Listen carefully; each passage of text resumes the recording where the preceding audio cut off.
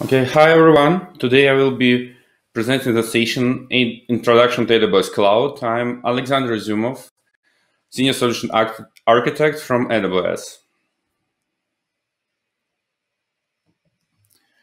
So today's agenda will be will be covering what is AWS Cloud overall, um, what it means from global reach, how we create our infrastructure to be globally, um, what it means uh, from security perspective and comparison from on-premises and in AWS cloud. And later then we'll talk through the EC2 overview, some details of implementation and Lambda as a serverless solution. So let's start from the very beginning, I would say, and what is AWS overall? Really, it's a cloud provider that is highly reliable, scalable, and we provide with low-cost infrastructure platform that is span over multiple countries all around the world. And the main benefits of the cloud of AWS cloud is ability to consume resources on demand, thus giving you low cost of the ownership of those resources, agility and elasticity of the services we provide, and open, flexible, so you could do whatever you want. Also, security is, a, as we say in AWS, is a job zero. So we always start from the security. It's built in into all of our services. And global reach, of course, it means we available all around the world.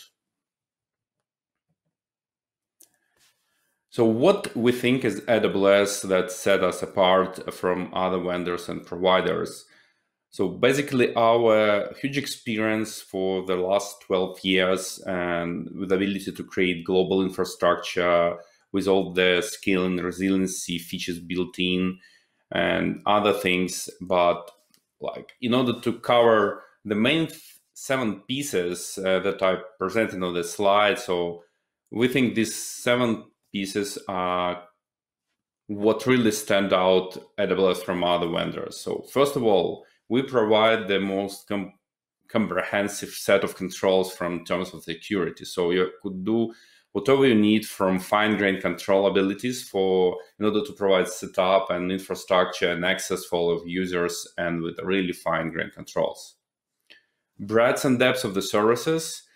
We have 175 plus, so probably from the recent event announcement, it probably something around 200 more and more so even like I am myself, it's really hard hard to keep up with all these growing innovations in this space. So it's really huge amount of services and the, and the interoperation.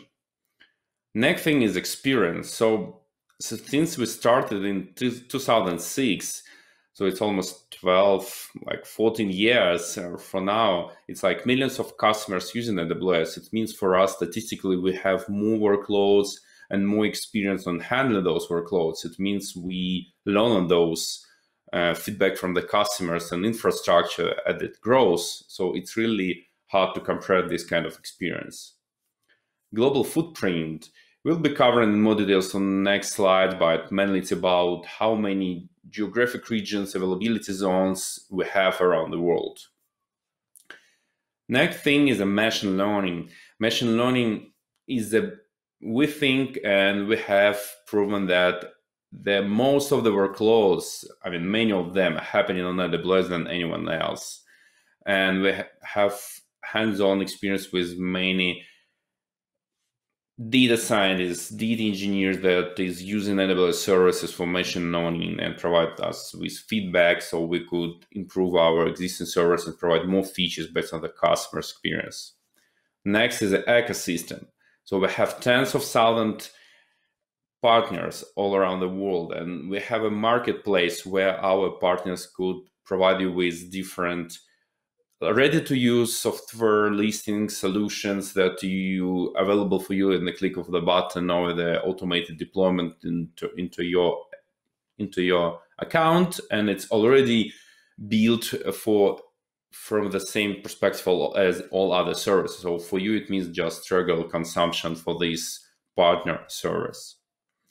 And enterprise leadership. So For many years, AWS was positioned as a leader in Gartner Magic Quadrant for the cloud infrastructure as a service. And I believe, to my memory, it's like 10th consecutive year when we stand out as the leader in this Magic Quadrant.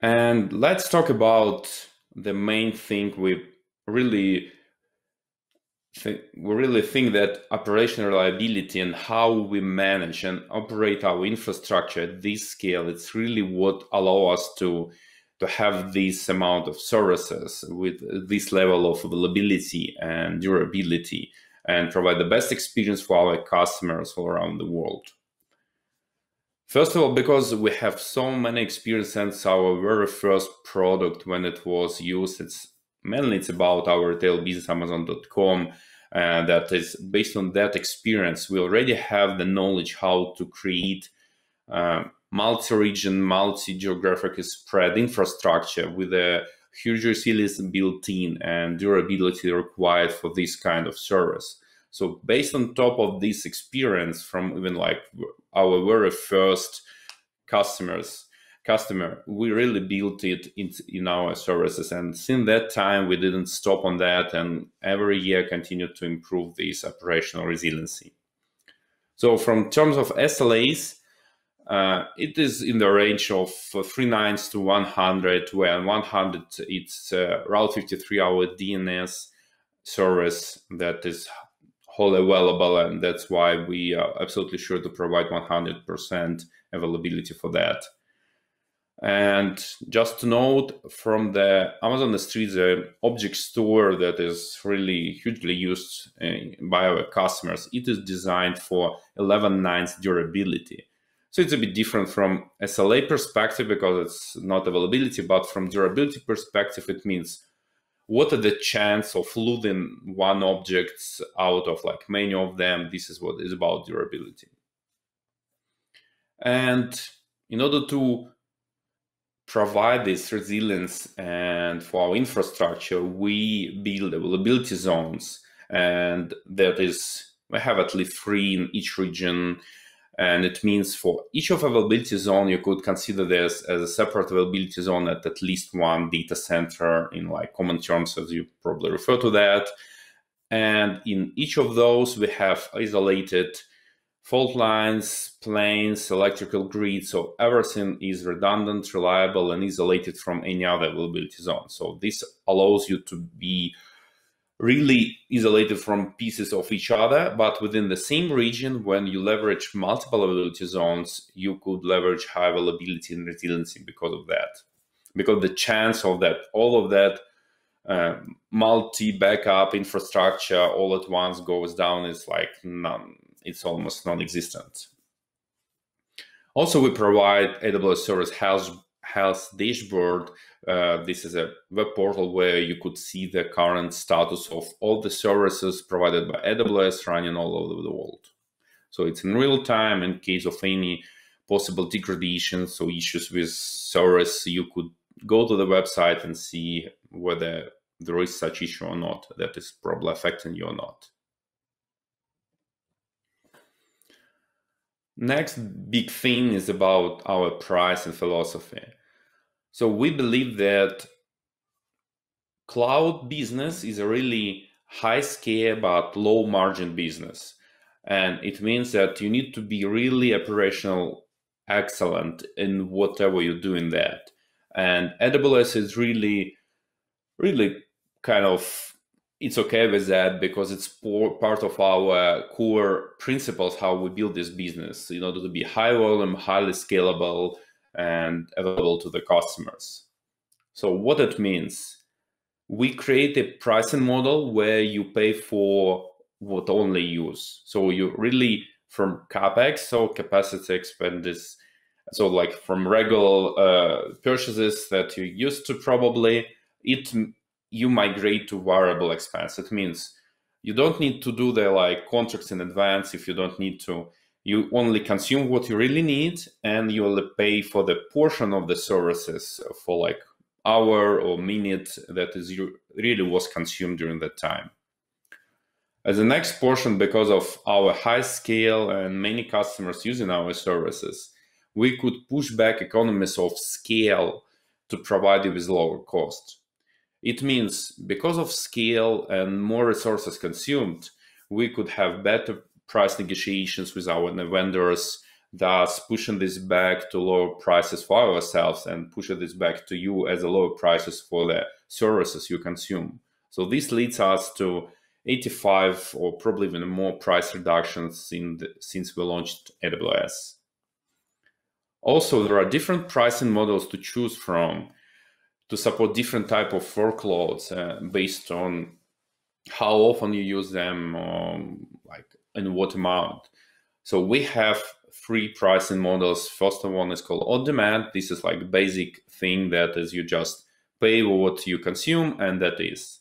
Second one is reserved instances or saving plans where you're really sure that you'll be using the servers or services for quite amount of time, like year or three years, and you're pretty sure that those servers will be there, you could just save on these and use reserved instances. And it means you just commit to usage, and based on that, you could get a discount on the price. And third portion is a spot.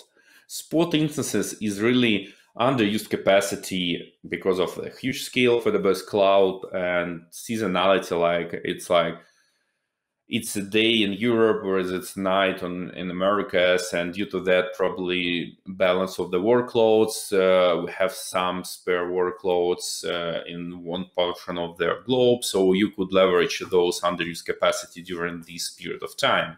So this allows you to to get that discounts because of underused capacity, and we provide this as additional pricing tier. And also there is additional like vector to that where you could save even more. It's like tiered pricing or volume discount or custom price. It really depends on your commitment on the service and long-term uh, like understanding of how many traffic you need or how many objects in S3 or something like that. So you, if you really think big amounts, you could get additional discounts based on that. And also, we really think that what allows us to grow uh, with this space of innovation is really our focus on the customer. So we call this customer obsessed. That means we really think and try to get feedback from our customers and work customers backwards in order to create our services. So what it leads to that 90% of our roadmap for the services originate from customer requests or feedback and that is how we create our service and improve them. That is you who provided with, with feedback and that is how you get this, those better services based on this. So please always provide the feedback. We're really open to that.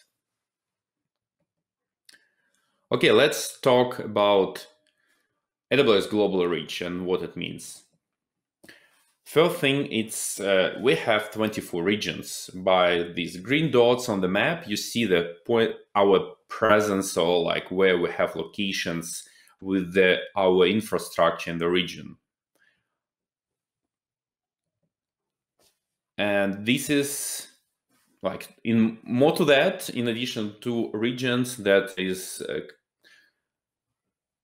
consists of multiple availability zones, and I described before. Addition to that, we have cloud front point of presence.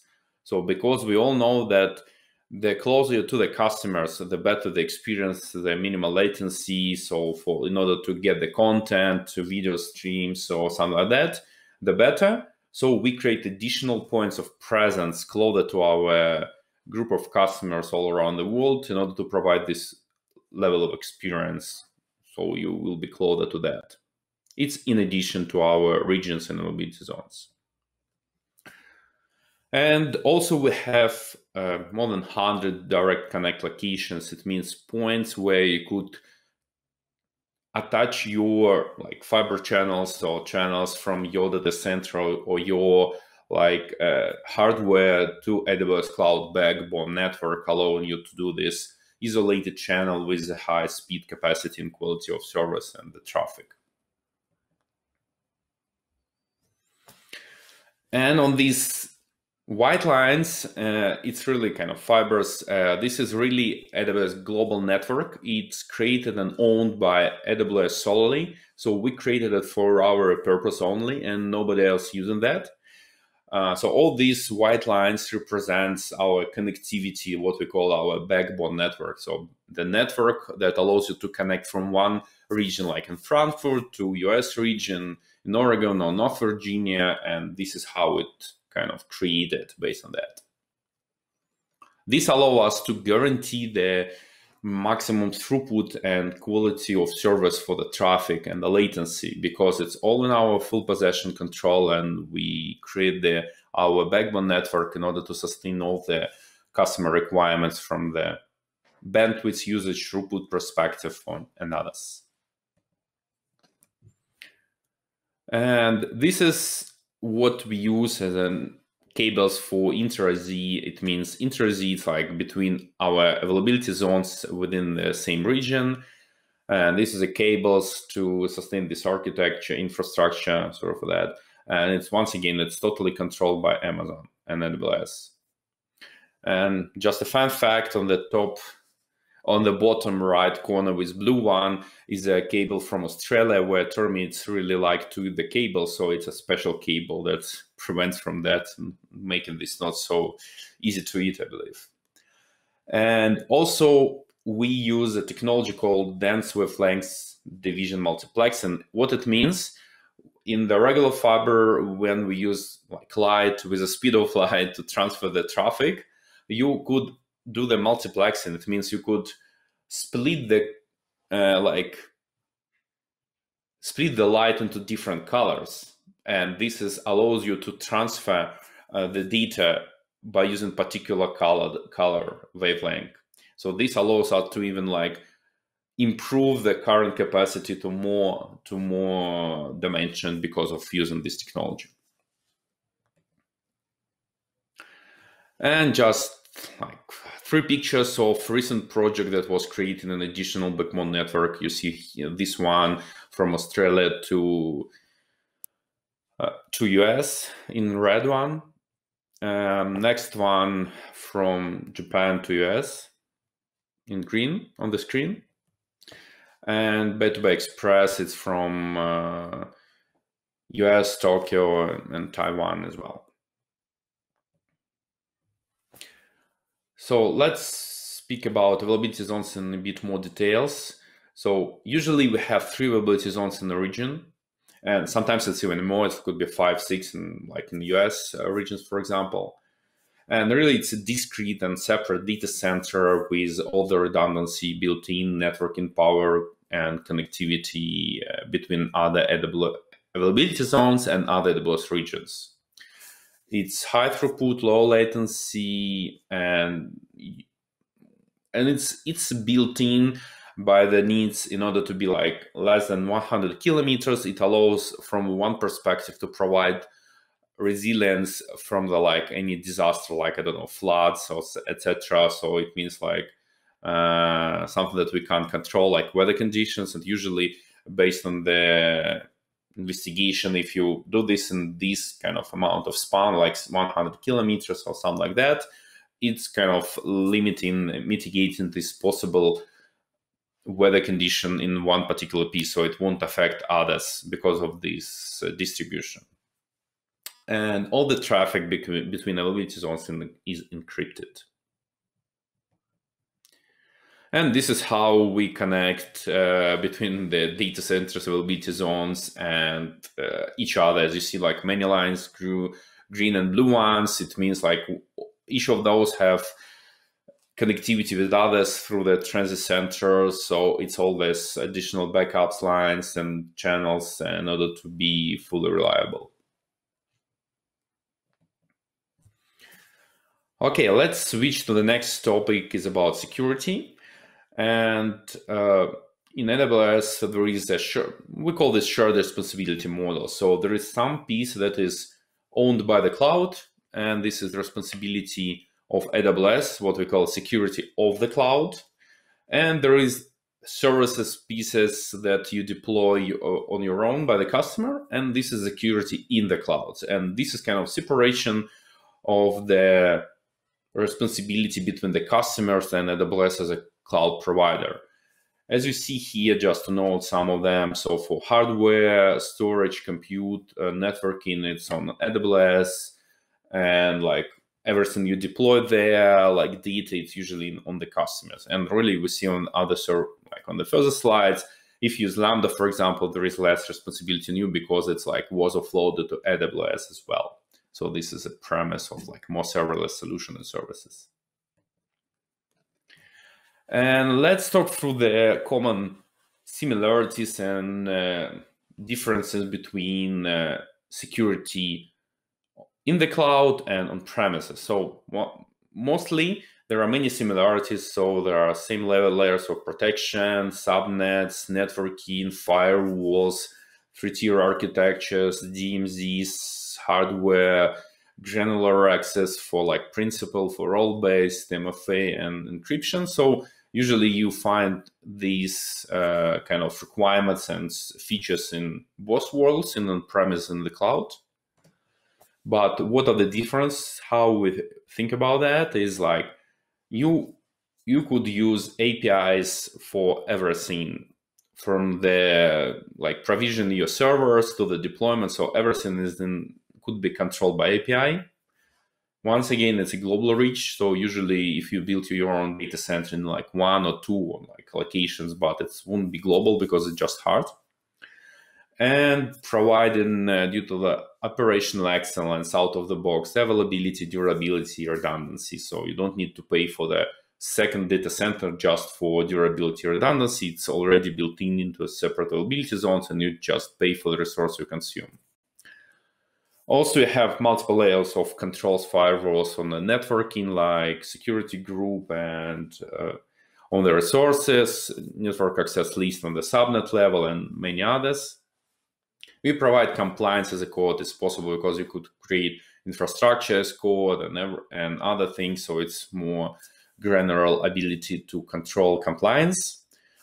And also we create special Amazon images uh, for EC2 instances for virtual machines that is hardened. It means we already think from the security perspective what needs to be there and how often it needs to be updated to provide you with the latest security patches.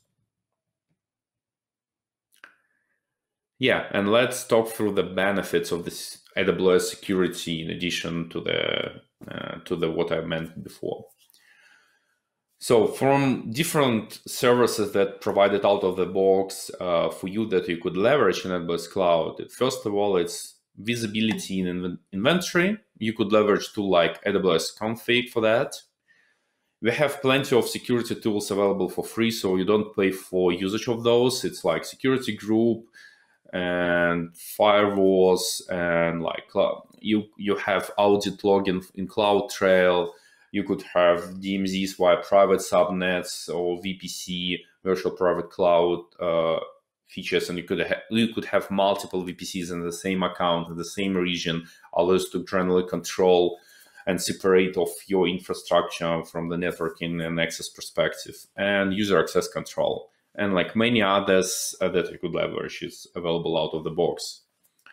Also, regions indeed data privacy compliance. So we have multiple regions, you already have presence, and because of the presence, particular regions, for example, in Germany, we have separate law, for example, like GDPR or any other local law uh, that uh, requires you to store data locally in this country or in this region. So having this distributed geographical availability of our services by using these multiple 24 plus regions. You could store data in order to be compliant in this particular region. Next things is we provide you with uh, out-of-the-box protection from DDoS. It's denial, distributed denial of service when some bot networks trying to kill your application by sending some uh, malicious requests. And this is called uh, AWS Shield, the service that is included in most of our services and available. And you even don't know it exists, but it's there. It already allows you to mitigate these different types of attacks, especially like low level attacks. Uh, like on L4, it's like SYN floods, whatever. So won't be won't be deep dive into that, but just to let you know there are many things where you already covered. But for some comprehensive attacks, for sure, you need to leverage additional services uh, like AWS Web Application Firewall, and you should properly configure your load balancing and auto scaling to sustain the traffic growth. Security of economies of scale, it means based on our most security oriented customers and we improve uh, our services to be compliant for their requirements but as soon as we did this it's available for every customer. It means every customer of aws already get the most comprehensive security uh, that is available. And as i noted you don't need to create separate data center just for redundancy perspective. It's already there due to multiple redundant availability zones. Also, we cover some these hardware replacement and upgrades uh, that usually need to do in, in either case, but usually it's like transparent for you, the users of AWS Cloud. It's usually not so transparent when you use data center because you usually own particular piece of hardware that needs to be replaced. So in AWS, we replace out of end of life hardware with the latest available processors.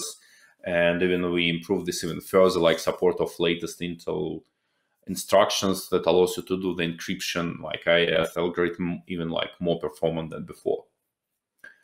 And from compliance perspective, I will show on the next slide, we already have many of our services compliant with the major compliance frameworks. Let me show you.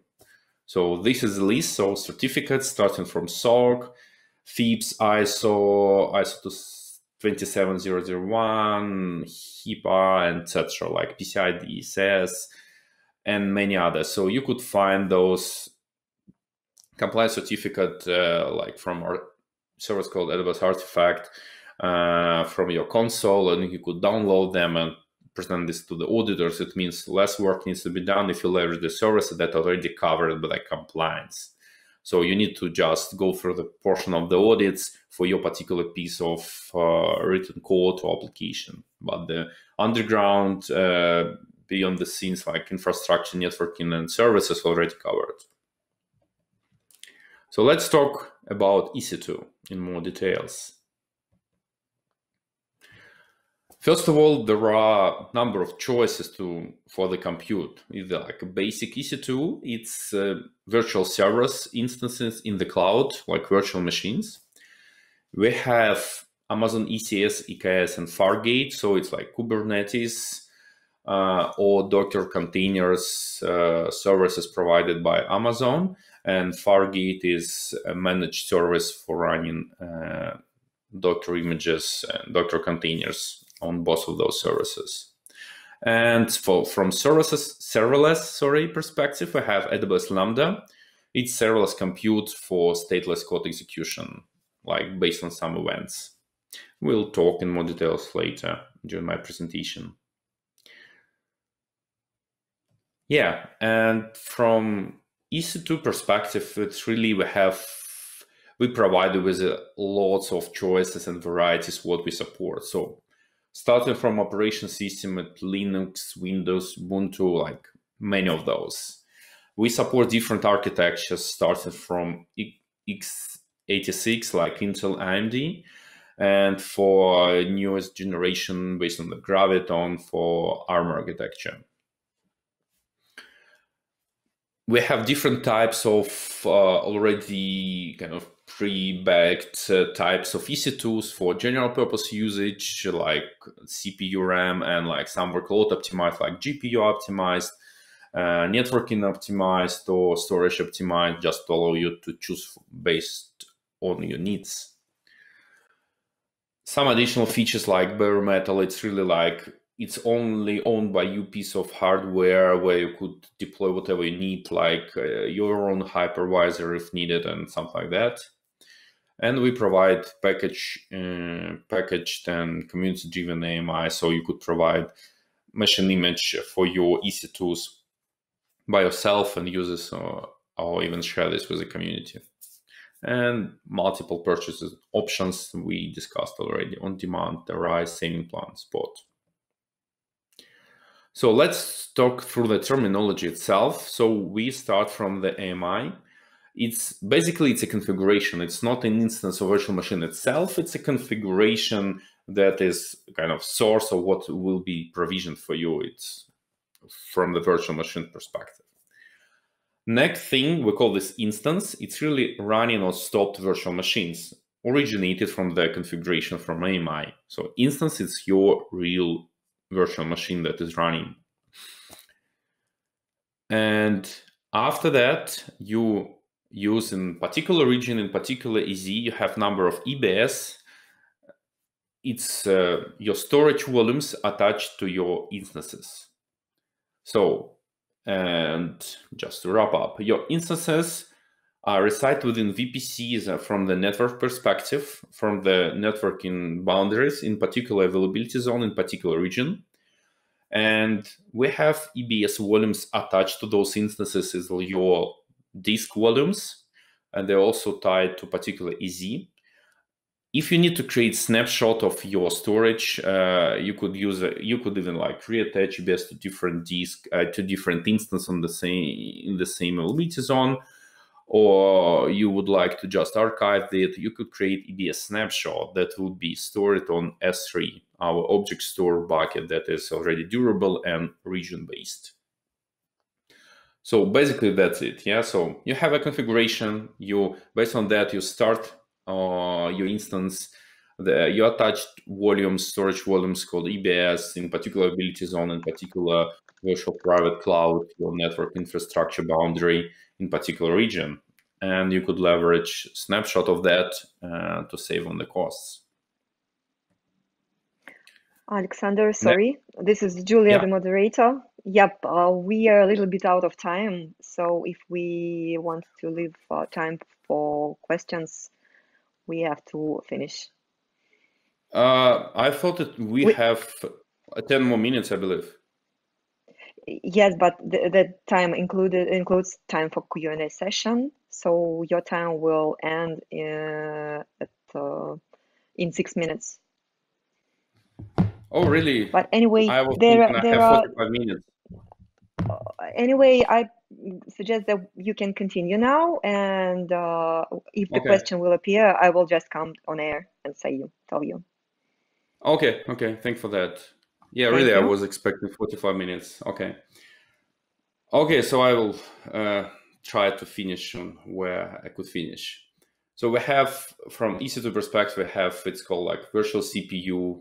It's uh, like it's not like CPU that you really come to because it's like core. So we have this hyper-threaded one, but usually you you really just use them and as many as you need. So just to let you know, we call this virtual CPU, and it's hyper-threaded. Next is like about memory storage. We it's represented in gigabytes. It's like different between gigabytes and gigabytes, but gigabytes, but usually gigabytes it's like 10 in something and gigabytes is uh, like multiplication of power of 2 yeah so basically 256 gigabytes gives you even more that you expected so that's that's cool about that yeah, and one great thing is about like storage is independent of compute, as I mentioned. So you have instances in EBS, and uh, kind of you could attach the same EBS to the different instance if you need to. Also, there is a ephemeral storage. It's like directly attached to your like physical rack, and it have high performance NVMe, NVMe disks usually. From the sizing perspective, you use whatever you need, but from the cost perspective, it's all the same. So eight of X large instances is the same as like, I know it's it should be eight large, I believe. Yeah, so it's like multiplication flow. Two two of 4x large is really 8x large from the cost perspective and usage perspective. So you just could be using one large box or many small box. It will be the same linear usage based on the costs. Yeah, and one thing about EC2, it's really uh, all the instances are dedicated to you. And there is one exception for T instances, it's like burstable, they're like sharded. but all others are really dedicated to you and in your account and uh, memory allocated only to your instance. So you could be pretty sure it's you're on the safe side from security perspective. So there is no something like an ability to avoid noisy neighbors issue. Also, we have plenty of choices for the processor and architecture. As I mentioned, there, there is Intel based, AMD based, even like we support NVIDIA for GPUs. We have our own ARM processor called Graviton and even more. So you have whatever you need for all of your needs. This is a naming, so yeah, it's complex, but you just need to know. So it is instance family, generation, and like instance size. Yeah, you could refer to that later from the presentation. Yeah, I will just skip through that just to show that there's plenty of choices from the instance type perspective based on the requirements. Many operation systems, so also not to list all of them, not covering all of them, but it's whatever you need for your workload, it's really you have, and you could refer to the like additional ones from the marketplace baked by our partners and community. We really talk through the AMI, so it's your launch configuration. It's provided with a template of configs and how you call this and root volumes and how to map your EBS volumes to the instance. So basically just for one more recap to that. And once again, from the specialized workloads, especially from graphics perspective, is there is ability not to use full full graphic uh, like even instance, but attach portion of that by using elastic graphics, elastic inference to the particular regular EC2 instance like M5, but benefit from the GPU portion provided and attached to you. So if you need to do some small piece for the GPU, we, you could leverage these uh, accelerators attached to your instance. We really covered uh, these purchase options just a nice picture of those. It's uh, you could refer to exact details of how you save spot instance could give you up to 90% of on-demand prices. Yeah but there are some caveats there. And this is a great picture that represents how usually should consider and what type of the purchase option to use. So baseline you know is always there for reserved instances or saving plans uh, Orange One is on demand for your spiky workloads or for like even more scaling or for some sporadic and ad hoc workloads, you could use spot instances. Or you could use spot instance for your dev workloads because it's like not critical workload and you could restart your workload, for example. It's where spots are really great. And one more thing is about uh, hibernation. It allows you really when you like close your laptop and open this up. This is what really, and you continue from where you left off. It's really it's about hibernation. Yeah, so you it dumps your memory to the root volume, and when you start your instance, it just uh, reloads your memory from the dump from the when you stop that. So it's available for most of the instances. It's uh, the same start stop API, so it's all that supported. But it's really great when you could, uh, for your like heavy lifted or stateful applications, uh, not to restart everything from scratch. It's really useful feature. Yeah, many instance types, whatever I could tell to that. So many capabilities, many categories and options. So yeah, you have something to choose from. Yeah, something to graviton. It's really, I think, the last thing I will be able to cover today. So we have second generation called Graviton 2, and it's really our latest generation. It's like M6, C6, R6, uh, G processors Uh, that is based on ARM architecture and provides you more performance with a lower price. In like in some performance testing it could you allow you to do like 30% savings up to 30% savings like up to 40% of performance. And it's like and it's available for ec2 instances and for you could leverage this from rds our database by clicking on the button and switching that instance type. So it's really something you need to be looking into and trying these days if you're really not so if it's easy for you to i mean recompile for arm architecture really. Because you will be getting more performance uh, with less price. Yeah this is mm, uh, just recaps what i've just mentioned. Alexander this is julie again. Yeah. Yeah uh, sorry to, to interrupt. Yes but uh, we have to stop because the next uh, speech will start in three minutes. Thank you very much. It was very informative. Uh, and yeah, uh, I think that those who will have questions can reach you outside the conference and find you somehow in social yeah, networks. Thank you very much. Thank you very much. Okay. Thank you. Okay. Bye-bye. Bye.